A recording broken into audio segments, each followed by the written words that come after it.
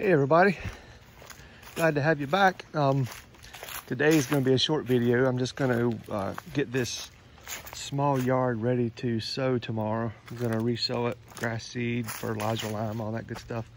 I'm going to get all that ready for tomorrow. This area has a little dip in it. Um, it's not exactly smooth. You can't probably tell in the video, but there's a little uh, low-lying area right along in here. So I'm going to try to take the box blade and smooth that over and uh, just try to clean this uh, area up um, and get it ready to sow tomorrow. So uh, hang out with me and watch me do a little work.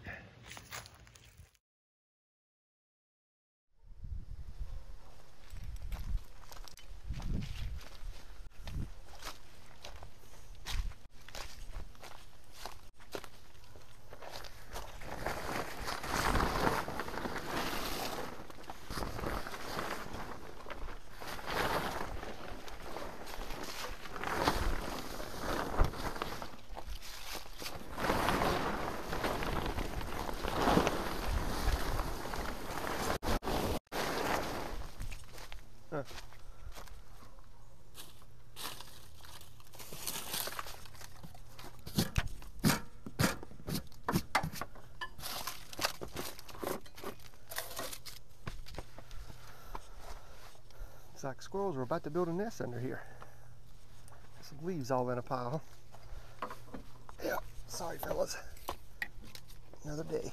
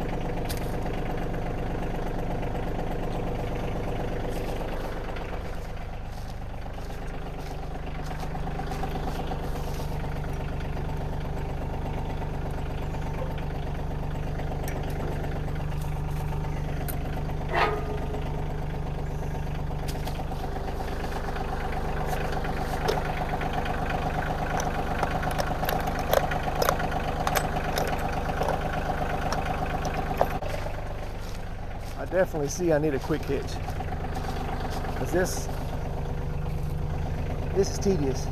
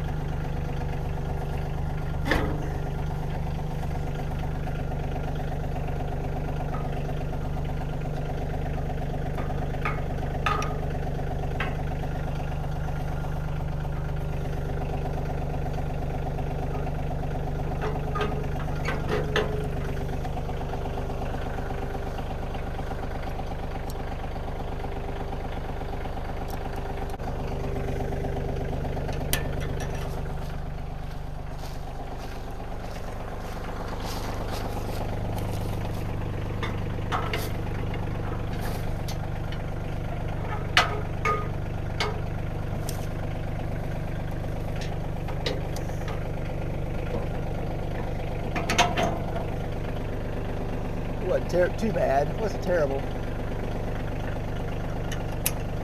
Bush hog's a different story. It's a lot harder to do without a quick hitch.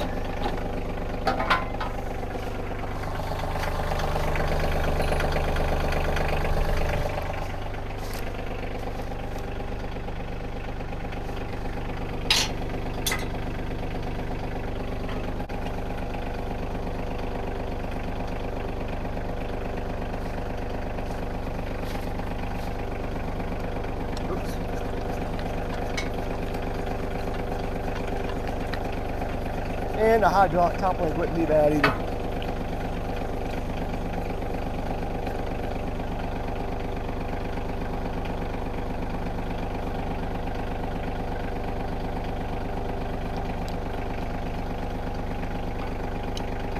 Getting there. Getting there. Almost. Might do it. Mm, close. Almost. Come on, baby. In. Oh, yeah. Oh, yeah. All right. Let's go try to do some work, tear some stuff up. It's a little muddy, but I'll give it a shot, and see how it works.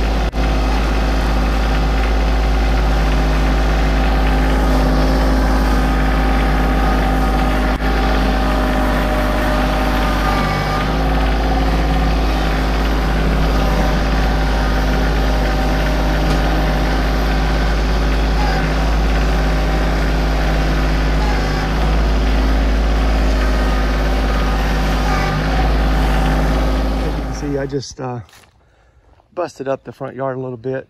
I just wanted to loosen the, grass, the ground up because it was so uh, packed in. So now I need to go over it with a garden rake and uh, smooth it over a little bit. So tomorrow I'm gonna get the grass seed out, fertilizer and all that good stuff. Um, this yard is, at least the front yard is, is terrible for growing grass.